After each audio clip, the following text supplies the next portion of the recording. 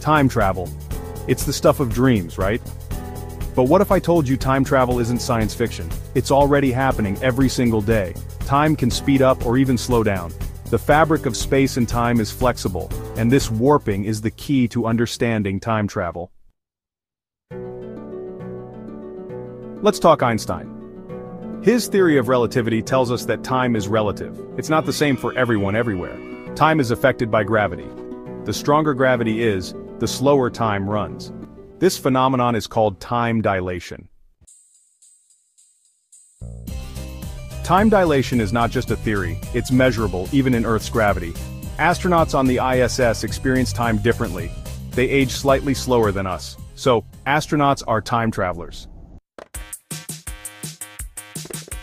Time travel is not just a fantasy, it's a scientific reality, governed by physics. Who knows what possibilities await us? Perhaps one day we will journey to distant stars.